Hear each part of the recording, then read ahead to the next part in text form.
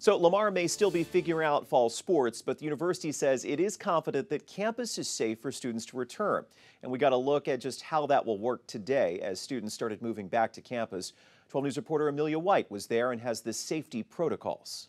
Moving day is a big step for college students having to adapt to life away from home. But this year, they'll have to adapt to more than just that. College students are bringing their belongings back to campus, hoping to fill these beds they left back in March. Last spring, in person classes were abruptly moved online due to the pandemic. Students will be moving in over the course of four days, staggering arrival times to limit how many are on campus. This year, students couldn't bring the whole family along, two helpers per student for safety reasons. The university is expecting 2,300 students to move in over the next few days.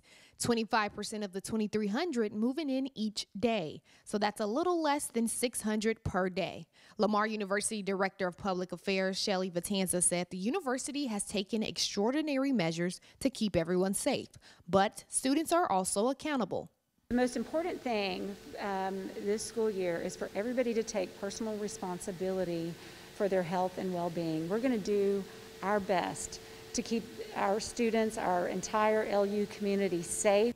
Coming up at 6, we'll hear from a Lamar University professor and how she plans to navigate these new ways for a successful school year.